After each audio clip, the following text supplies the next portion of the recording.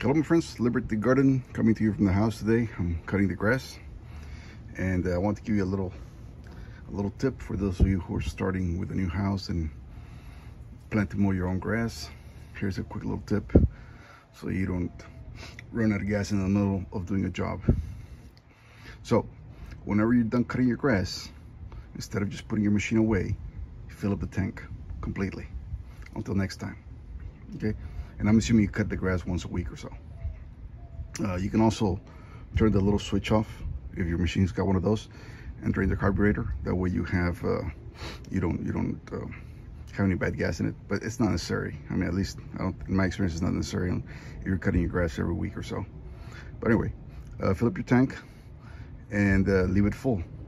That way next time, if you your your tank should be enough to, to cut the whole grass. And when you finish and you go back to filling it up again if your tank is has two drops left in it well then you know that you need to get more gas. Or if you fill it up and your tank is and your canister your gas canister has got a couple of just a couple of ounces left in it well then you know that you need to bring more for next time. But you're never going to run out of gas that way. Because then the worst thing you can do is that you're cutting grass on a sunday and the sun's setting on you and you're midway through the through your through your lawn and then you run out of gas and only to find out that your canister is also empty. So there's your little tip. Always fill out your machine's tank gas before you put it away. Until next time